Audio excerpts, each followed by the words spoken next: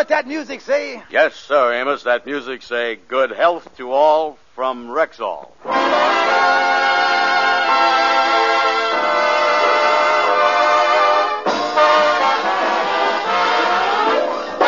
The Amos and Andy Show with Ernestine Wade, Johnny Lee, Lillian Randolph, Roy Glenn, Sara Berner, Jeff Alexander's music, and radio's all-time favorites, Amos and Andy.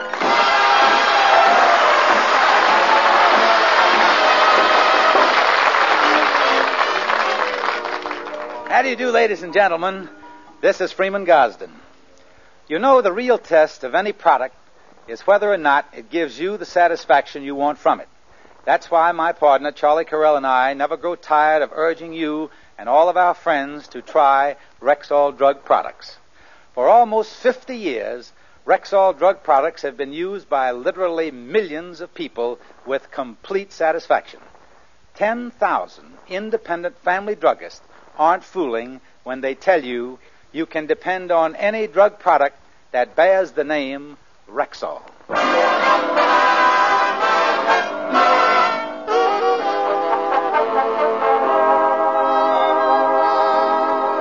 Well, three o'clock in the morning is the time when all good little birds and husbands should be home and in bed. However, it's three o'clock and the front door has just opened.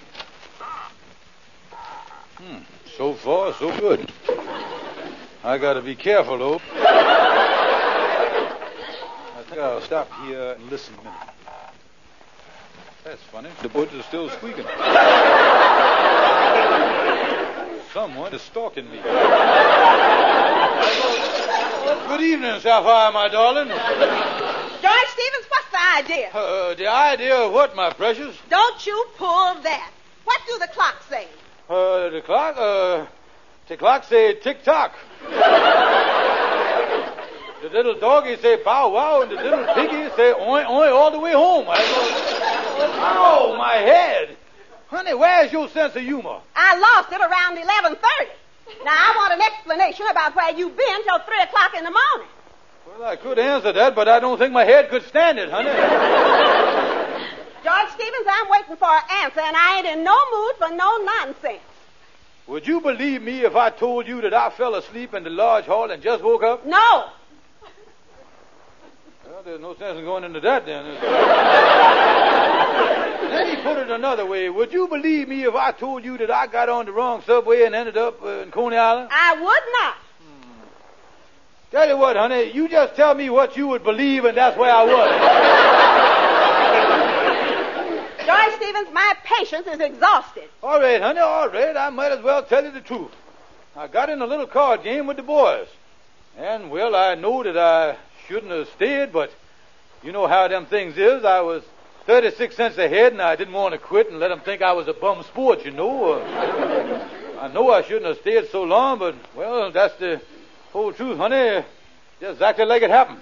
Well, George, as long as you finally told the truth, it's all right. But you should have told me that in the first place. I'm going on into bed. The first place. Hmm, how could I have told her in the first place when I just thought of it now?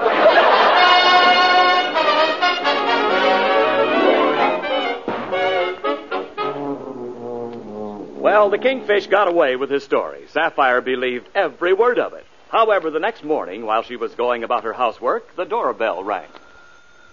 Now, who can that be? Yes? How do you do? Uh, is this the residence of Mr. George Stevens? Why, yes, it is. Well, I'm the manager of the Blue Slipper nightclub. I'd like to speak to Mr. Stevens. Blue Slipper nightclub? Yes? Well, uh, Mr. Stevens ain't in right now. Can I help you? Uh, yes, you look like the type of servant who can be trusted. Oh, oh, I do. Yes, this is uh, Mr. Stevens' wallet. Uh, he left it at his table when he was in the club last night. He was in your club last night. I'll say he was. Why, he practically closed up the place. Well, uh, here's his wallet. Uh, will you let him have it? Yes. I'll let Mr. Stevens have it all. Well, uh, good day, and uh, incidentally, uh, tell him that Tootsie sends her regards. Tootsie. Yes, the hat check girl. Old Georgie is a rascal, all right. well, good day. Well, nice hat check girl. Well. Hello. Mama, this is Sapphire. Get over here as fast as you can. The old fire horse broke out of the barn again.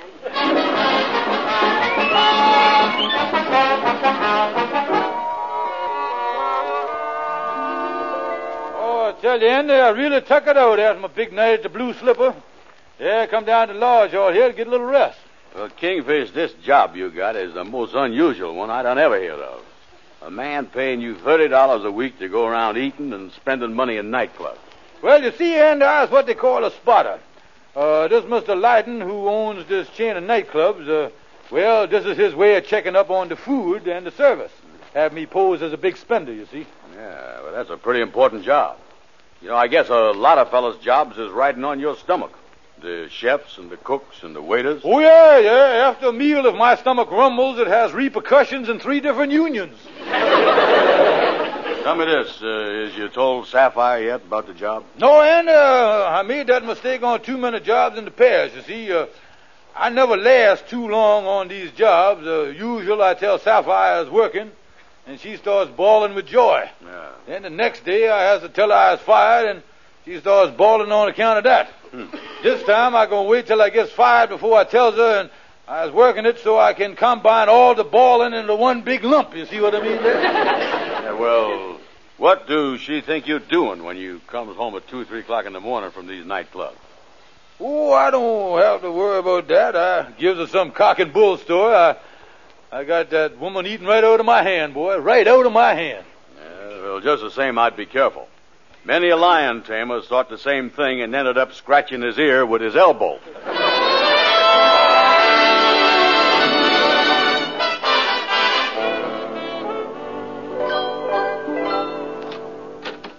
Oh, come in, Mama.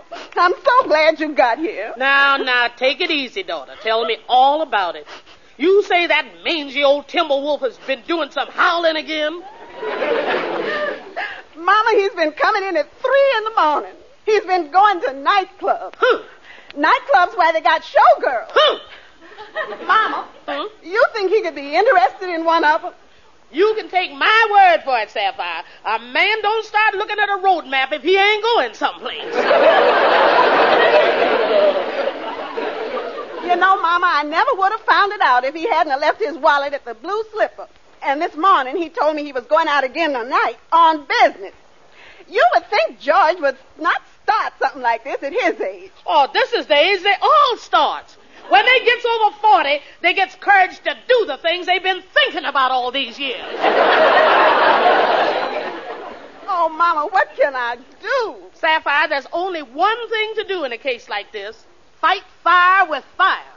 You make him jealous and he'll be so busy watching you, he'll forget all these course girls. You see, you, you got to pretend you're interested in another man. Oh, but Mama, I couldn't do that. And I don't know no other man. Well, you got to get someone.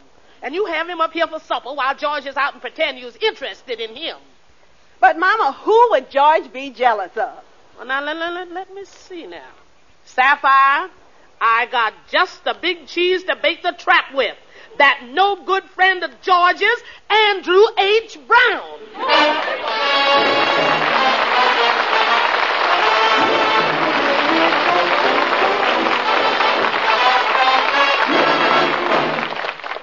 Good evening. This is your Rexall family druggist speaking to you for the 10,000 independent druggists who have made the word Rexall part of our own store names. We've done that because we recommend and sell the 2,000 or more drug products made by the Rexall Drug Company.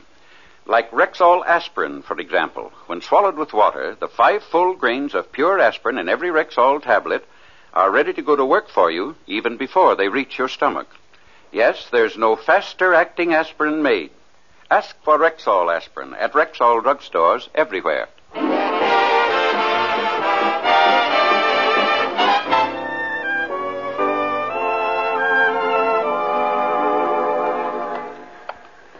Say, Lightning, uh, walk with me home to my rooming house, will you? Oh, yes, uh, I'll be glad, uh, Miss Andy. On top of old Smoky.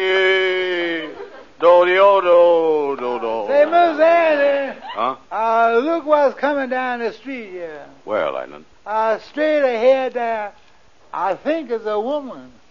Yeah, the head kind of looked like a woman, but the way the toes point out there, looks it walks like an ostrich. Holy mackerel, that ain't no woman.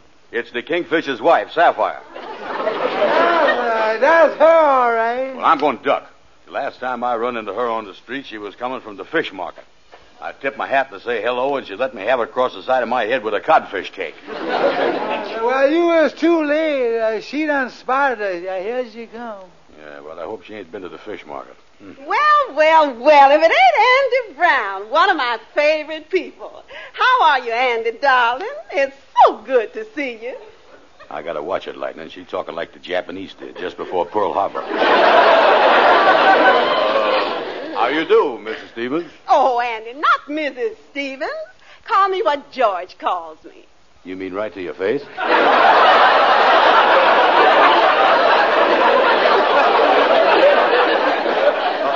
oh, ah, you mean uh, Sapphire? Yeah. Oh, how is you, Sapphire? Andy, why ain't you been up to see us lately? It's been such a long, long time. Yeah, well, uh, last time the kingfish asked me up for supper, I didn't think I was welcome. Why, whatever gave you that idea? Well, I guess it was the soup. I figured uh, I was a little unwelcome when I found them BBs in my matzo ball. Why, Andy, that was just an accident. And I want you to come up to supper tonight. Tonight? Yes, I'm having a lovely supper. It's all planned. Roast beef.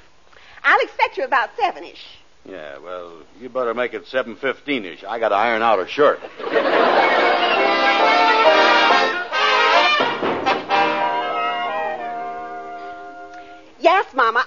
To call you. Everything's working fine.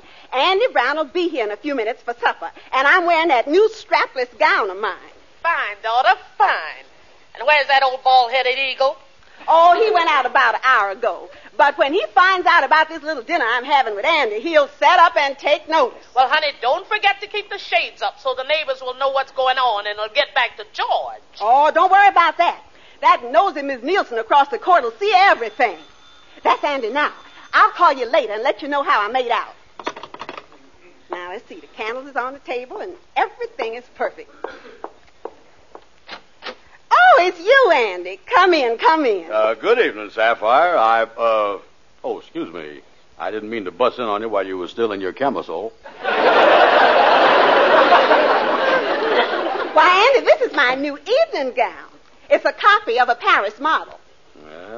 Looked like they run out of material while they was copying it. but I guess if the kingfish proves of it, it's okay. Sit down and make yourself comfortable, Andy. Dinner'll be ready in a minute. Yeah, well, fine. Say, Sapphire, I just noticed in there there's only two places set at the table. Ain't you going to eat with me and the kingfish? George ain't here, Andy. We're alone. Alone? You mean there ain't nobody here except you, me, and the roast beef? That's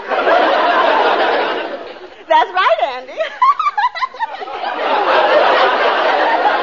Mm, yeah. Say, Sapphire, I think I'd better be running along. According to Emily Post, the roast beef ain't much of a chaperone. no, no, no, Andy. George will be here later. Yeah, well, I guess it's all right. Now you sit here by the window, Andy, and I'll sit over here. Ain't it nice eating by candlelight? Yeah, it is. Uh, let me start in here, too. Oh, you know, Sapphire, this show is a nice mixed green salad. Mm. Andy, uh, I hate to mention it, but you're eating the centerpiece. Yeah, yeah. Uh, yeah, uh, them petunias has got a tang to 'em, all right. Now you sit right there, Andy. I'll go get the soup. Well, Sapphire, uh, listen, before you get the soup, uh, would you kind of pull the shade there? I got a feeling we is being watched from across the court. Why, Andy, there ain't nobody lives there but old Miss Nielsen. Well, look at that Venetian blind. Up around the eighth slat, there's a pair of eyes. and down by the bottom slat, there's a nose. Either she is called a neighbor in, or Mrs. Nielsen got a face that's six feet long. Don't pay no attention, Andy. I'll be right back.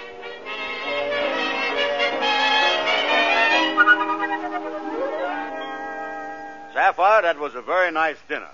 But I wish the kingfish would get you. It's getting late. Never mind, Andy. You just sit in the easy chair, and I'll sit here on the arm, and we'll talk. Yeah, well, I. Uh. Well, I'll wait a little longer. You know, Andy, you is George's best friend, and I've never really got to know you very well. And, um, well, don't you think that when two people has been married as long as me and George, sometimes they drift apart until the attraction they once had for each other is all a part of the dim past? Don't you think this occurs in many instances? Uh, don't you think so, Andy? huh. Some lover boy. I wanted a Romeo, and I wound up with a Rip Van Winkle.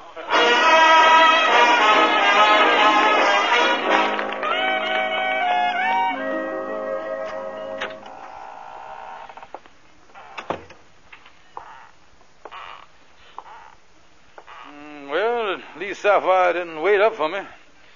I guess it's safe to put the lights on. Oh, me, it's 2.30. This nightclub job is killing me. Hmm, look at the table here. Set for two. Oh, I guess you had a mama over for dinner. Wait a minute. What's the cigar doing in the ashtray? It couldn't be a mama, 'cause this is a panatella and a mama's partial to white owls. oh, well. Maybe the old walrus switched the brand. Uh...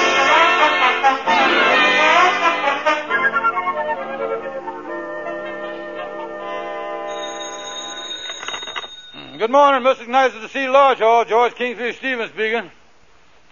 Now, what's that? A well-meaning friend. My wife what? With a who? When? Uh, uh, where? Oh, no, no. Listen, who is this? Uh, uh hello? Uh, hello, hello. Oh, me, they done hung up. Holy mackerel. That well-meaning friend said that a man was up at my wife's apartment last night. That cigar. Yeah, and the table set for two. I gonna find out who it is and kill him. I gonna kill him dead. Yeah, how could a fella do this to me? Sneak it up and have dinner with my wife while I was out.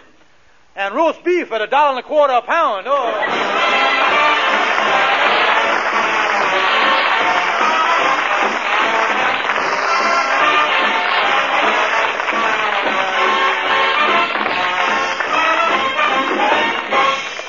Now here's your Rexall family druggist. Today, all across the country, there's a word that's getting to be a synonym for multivitamins. Yes, and I know what it is.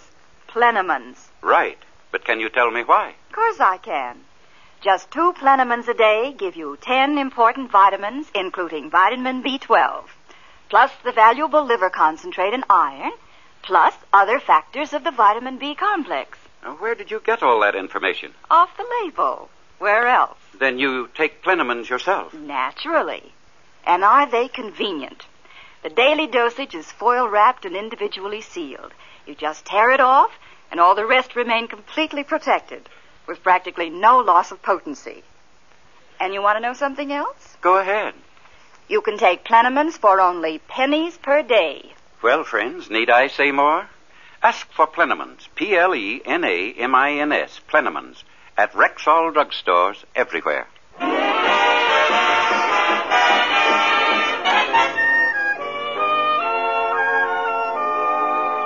Now that's the whole story, Calhoun. While I was out last night, some fella come up and had dinner with my wife. Now I done got the whole story from the neighbors. Calhoun, what is it going to do? Kingfish, this is one of the most dastardly things one man could do to another. A thing like this shows the terrible evil that lurks in the heart of this man. It shows that this unscrupulous viper has sunk to the lowest forms of chicanery. Kingfish, this boy has done a bad thing. Calhoun, look here. I've never been so upset in my whole life. I gotta find out who this fiend is that's violating the sanctity of my home. Well, it seems to me like that if you want to find out who he is, the thing to do is trace him through the neighbors. Yeah, that's what I'll do. I'll find out who it is. I'll nace him through the trade. I mean, I'll trade him through the naces. Now calm down, now, now, now calm down, Kingfish. You too excited to get any place. I tell you, I'll go up there and speak to the neighbors myself. Yeah, that's a good idea. I'll go over and speak to Andy and see if he got any idea who this fiend could be. Now, if you got to find out anything, Calhoun, you call me up over to the Lodge Hall. All right, I'll get up there right away. Why, oh, why would this fella want to get interested in Sapphire? Well, that's way it is in life, Kingfish. An attraction like this is one of the mysteries of nature. There's a certain spark, a certain magnetism, you know, a certain fascination. Yeah, I know, but uh, what would draw this man to Sapphire? She ain't much to look at. Neither the hippopotamus, but at the zoo they always draw the biggest crowd. Oh,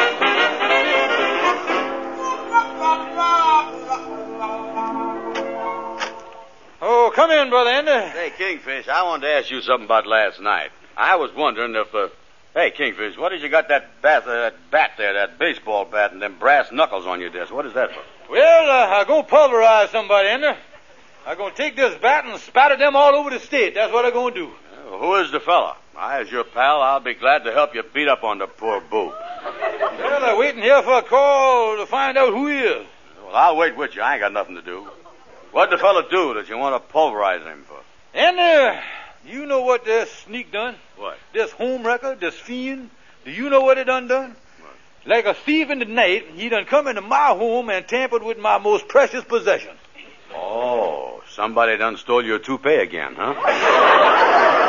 So, and while I was working late last night, this home wrecker come up and he had dinner with my wife. Uh, Andy, uh, you were smoking a cigar a minute ago. Uh, what happened to it? I must have swallowed it. I've been doing that a lot lately. Uh, Kingfish, uh, let me get something straight here before the conversation flies off on another tangerine. Yeah, good. This fella that me and you was waiting to subdivide with that baseball bat, he is the fella that had dinner with your wife last night? Right. Well, like Napoleon say at Waterloo, I has had a lot of better days than this. Yeah, well, I tell you, Andy, when I find out who this fella is, I gonna take this bat and I gonna haul off. And, uh, uh, wait a minute, there. Uh, hello. Yeah, that's the Kingfish. Oh yeah, Calhoun. Oh, you did great work. Yeah. Who is it? Who? Spell it out. B like in baby. R like in round. O like in Ohio. W like in weasel. And N like he's nearer than I thought he was. Thank you. So you, my lifelong pal, was the one who had dinner with my wife last night. Now, what has you got to say to this? The roast beef was too well done. Andy, you ain't getting away with this. I'm gonna beat you with an inch of your life. Now, wait a minute, Kingfish. Put down that bat. Now, this whole thing was innocent. I think you was going to be there. I as innocent as a baby lamb, Kingfish. Well, I'll teach you to you do your bow barn around somebody else's house. Listen, Kingfish, put the bat down, will you? This is ridiculous. The last person in the world I as interested in is your wife. Oh, she ain't good enough for you, huh? I'll teach you, you monster. Wait a minute here. Wait a minute, Kingfish. What you doing? Hey, What- Kingfish, wait a minute, here. What's going on? What in the world is you two fellas up to here? Listen, Amos, tell the Kingfish to put that bat down. He acting like a madman here. Amos, when I was out working last night, this weasel went up and had dinner with my wife. No, sir. Listen, Amos. Sapphire done invited me up there. And I think the Kingfish was going to be home, too. I don't know what in the world is going on around here. Kingfish, look here. Is you out of your mind? Andy wouldn't be interested in Sapphire, and she wouldn't be interested in him. Now, if you was working and Sapphire invited Andy up to dinner, there was some reason for it. The thing for you to do, Kingfish, is to go home and have it out with your wife. Yeah, you ought to get the thing straightened out, because you know I ain't interested in your wife. I just went up there for dinner. Yeah, I know you did, Andy. But you wait a minute. Ow! Kingfish, what in the world you hit me on the head with that bat for? That's for them four slices of roast beef you ate, you big fat pig.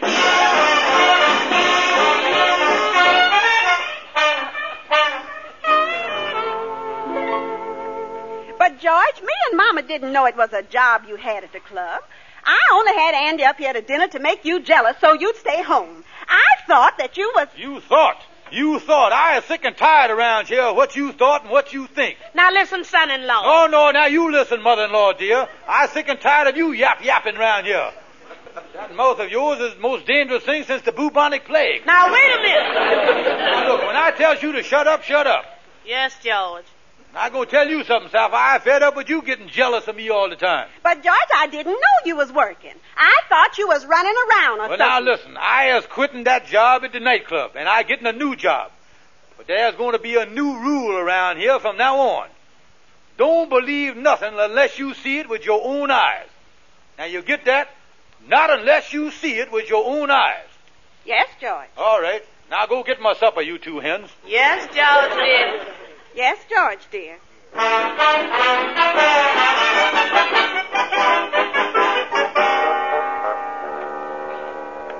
I tell you, I ain't never gonna be jealous of George again as long as I live. Well, I guess we was both wrong about him, daughter.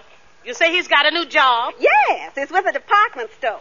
He leaves the house every morning at eight and gets back at six. So there ain't no chance of him getting up uh, mixed up with no women. I guess he was right about not believing nothing till you see it with your own eyes. Yes, well, I tell you. Oh, wait a minute, Sapphire. Look at that taxi cab there.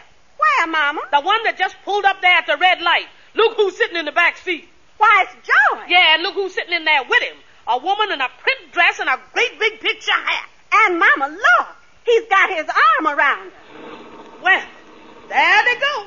Oh, Mama, I'm going home and pack. I never want to see that two-timer again as long as I live. This time I done seen it with my own eyes.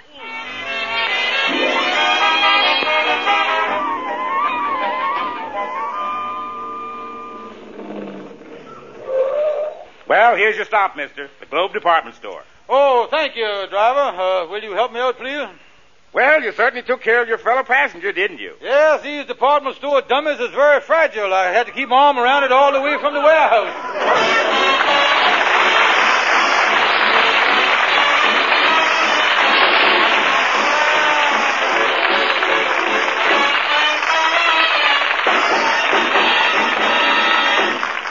Again, here's your Rexall family druggist. Fight acid indigestion four ways. Use Bismarex. This exclusive Rexall antacid often neutralizes excess acidity in less than one minute. Yes, less than one minute.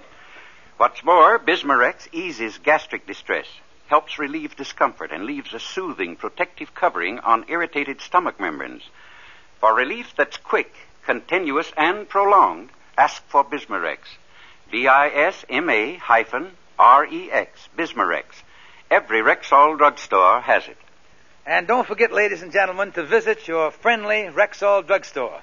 Good night. See you next Sunday. Attention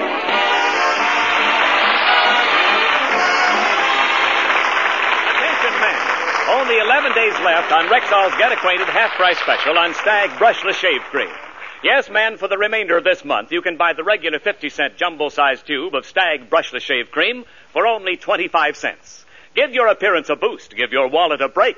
Buy the regular 50 cent jumbo sized tube of Stag Brushless Shave Cream for only 25 cents the remainder of this month at Rexall drugstores everywhere. Be sure to be with us next Sunday at the same time when your Rexall druggist will again present the Amos and Andy Show. The Amos and Andy Show is written by Joe Connelly, Bob Mosher, and Bob Ross. Stay tuned for the Edgar Bergen and Charlie McCarthy program, which follows immediately over most of these stations. Ken Niles speaking. This is CBS, the Columbia Broadcasting System.